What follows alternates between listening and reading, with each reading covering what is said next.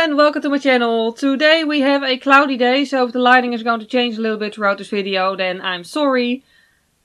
It's just what it is. Um, but yeah, anyway, today I've got a video for you all about some woman secrets, tips and tricks, stuff like that. I'm not sure what I'm going to call this video, but basically it all comes down to a random list of things about womanhood that I would have loved to know about 10 years ago. But back when I was a teen, we didn't have YouTube and all, and yeah, I just didn't really want to, like, as a teen, I didn't want to talk with, about stuff like that with my parents or anything. Um, because, you know, regular awkward teen I was and all. So, yeah, this is basically just a thing that I, there's a list of things that I would have loved to know earlier. So, you know, if you're still young or if you're not young, doesn't matter really. I just hope that these tips and tricks are going to be uh, helpful and maybe save you some time figuring it out yourself. Um, so, yep. Yeah. I actually mainly do makeup tutorials by the way, if you haven't watched my channel before. If you want to see more of that, feel free to subscribe. Uh, this was actually also a tutorial. I just almost poked myself in the eyeball. Oops. Which I'll link somewhere up here. I keep forgetting which side, but some side here.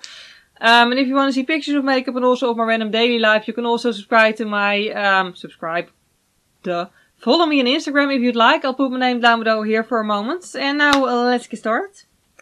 So first issue, tips and tricks sort of thing is bras. Um, you know, like I've never been someone who was um, not confident about her own body, except for one part, these two. Um, mine are not even in size, like it's just a genetic thing. My mom has it too. I have it a bit worse, like there's literally a cup size, like one is like more of a B cup, the other one is more of a small C cup. It's quite annoying really, but nevertheless, um, you know, they're nice healthy boobs and, you know, I don't mind it anymore. But when I was a teen, I used to really struggle with bras.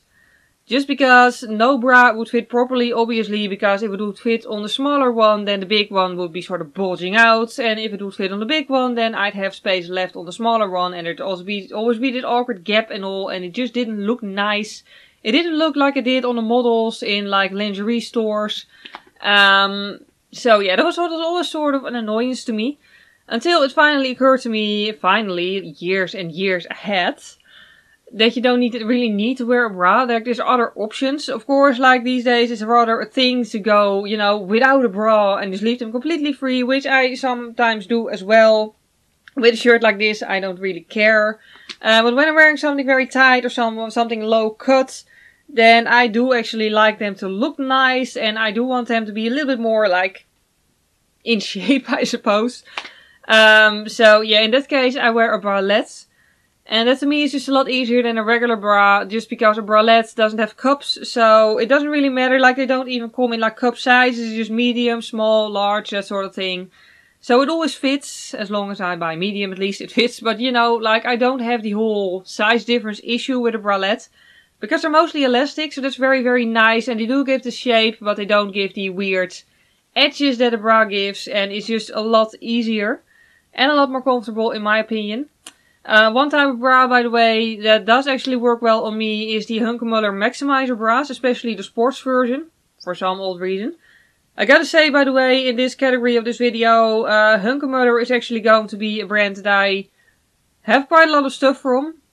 This video is by no means sponsored. I just happen to buy there a lot and have a member card. So when I buy stuff there, then I also collect points to get, you know, a discount on the next purchase. So that's just why I have a lot of stuff by them. Um, but anyway, so yeah, that's a thing. Another thing uh, that I really like is a, a stick-on bra. With this also because just it's it's it's stick-on. That's that's the entire point. But like the whole size difference thing doesn't matter with these either. Um, one thing I do recommend is if you have like an important event coming up, buy a new pair because they do stick on for like three to five times in my experience. But after that, after rinsing them all those times thereafter, they just don't stick on as well anymore. And on, especially on like a very important thing, I wouldn't want to be stuck with a stick-on bra that doesn't stick properly anymore because you'll just be uncomfortable the entire day trying to make sure it stays in place. That's one other thing, I prefer to wear those with tight clothes. Not with very loose clothes, just because I feel with tight clothes it just pushes the, pushes the thing against your body, making sure it stays in place. Um, so that's the thing. Another advice is nipple covers um, for when you want to go free but you don't want anything to show that you don't want to show. Again, with these as well as with the stick-on bras, these are stick-on as well. I prefer to wear them with tighter clothes just because I feel more confident that they're actually going to stay in place that way. Um, one other thing with the nipple covers though is that they're usually not completely flat. I don't know why, but they usually have like a flower shape or something. Um, so underneath very thin and tight clothes, there aren't they aren't quite invisible, so I prefer a stick-on bra for that because I'd rather have that show slightly than a random flower on my boob. To each their own. Not sure why that is, it's just always a fact.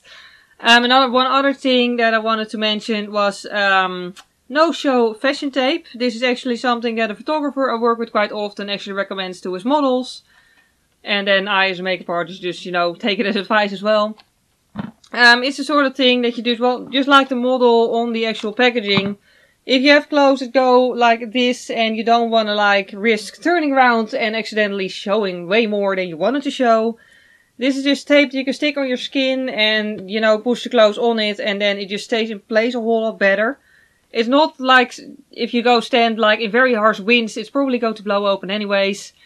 But it at least helps a little in keeping things covered. So there's one other tip uh, I wanted to give you. The next thing that I wanted to mention is periods. Um, for years during high school, I thought there was nothing else in the world, well, in that category at least, but tampons and um, padding. I'm not even sure what the name is in English, but like the stuff that you stick in your underwear. Yeah. Um, and like the leather is smelly and the tampons, I just like for one, I couldn't really get them in without it hurting, and I also couldn't get them out without it hurting because I don't really get my period all that badly, so it was just too dry and it just hurt. Which doesn't really make it a more pleasant experience that time of the month. Um, so yeah, menstrual cup is one advice I can give you that helps a lot. There's a lot of very helpful videos on it. I made one too, which I feel is a little bit less helpful than some other videos. But it's something you can easily look up if you're interested in that. And it also reduces waste and it also is better for your wallet because you don't have to purchase it that often. Um, so yeah, that's one thing. Also, um, well, I wanted to mention uh, supplements. Uh, supplements. Um, I don't actually know what is. Wow, I should have looked it up. What the name of this thing is in English. Um, but basically, it's a food supplement. So if you do want to use it, I'm just going to look up the name in English while I'm at it. If you do want to use it, of course, do actually, you know, read the whole instruction thing and do make sure cooperate. Thank you. Do make sure that, you know, you're not allergic to anything or hypersensitive to anything. And, you know, it is a supplement, so it doesn't replace a meal, obviously. Um, but basically, it's supposed to help you feel less irritated that my time of the month. Wow, my phone is slow. It's an old phone, like like. It's an ancient phone, and it's um yeah, it's breaking down. Finally. Now look for it. Anyway, point being, yeah, like if you feel like murdering someone once per month, then this stuff for me really, really, really helps. Oh, that's translated as evening primrose oil. You can probably look it up in like the whole woman supplement thing at your local drugstore. This was bought at my local drugstore, so that helps. Um, but yeah, and also this one is actually enriched with vitamin E.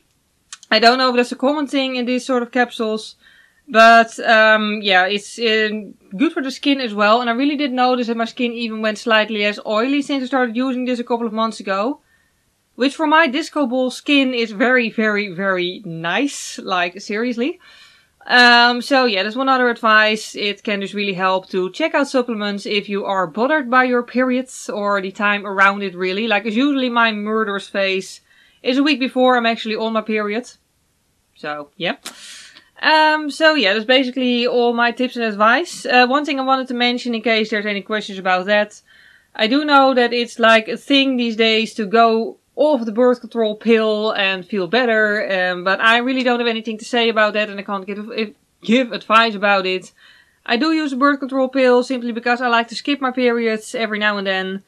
Um, like next weekend I'll be in London and I really don't want to have to worry about it then, so I'm just skipping it because otherwise I would have had my period that week. So yeah, that's just thing, you know, like really, whether you use birth control pill or not, just basically that's for you and, you know, your doctor basically to decide and that's it. Um, I really don't have an opinion on it because for me it works fine and I also believe that for other people it may not work fine, but I really can't give you any advice on that. Um, so yeah, that's basically all I had to say for today. Um, I really hope this video was useful to some of you and if it was useful or at least enjoyable to watch, please click the like button, it would really help me out. Um, other than that, questions are always welcome. If I can actually give you a useful answer, I'm not sure, but I'll, I will, at the very least, I'll try. Um, and for now, at any rate, thank you very much for watching this video. I hope you have a wonderful day, and I hope to see you next time. Bye!